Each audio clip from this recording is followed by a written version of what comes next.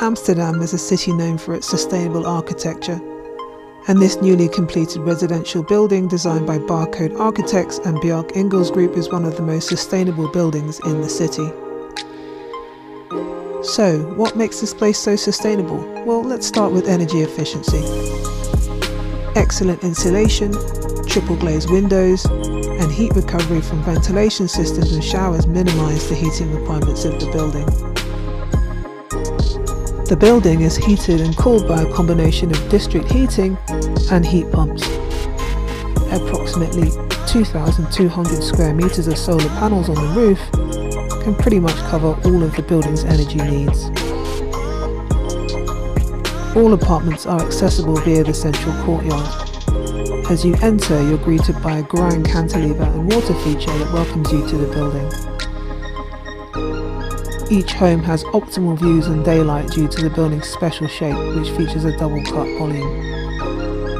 The walkway to the roof offers visitors and residents a spectacular view of the water and the neighbourhood. The jetty promenade features 34 houseboats around the building and the landscape encourages contact with the water.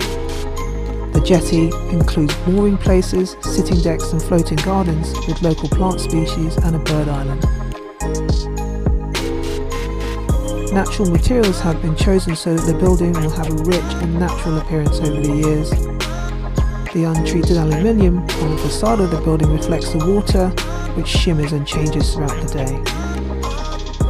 In contrast, the stepped roof terraces and the jetty promenade are made of wood, providing a lovely tactile feel. So this place is a true testament to sustainable architecture, designed to minimise its impact on the environment and integrate with the local ecosystem, really bringing water living to life. The building's thoughtful design creates a welcoming atmosphere for both residents and visitors, with beautiful views and access to the water.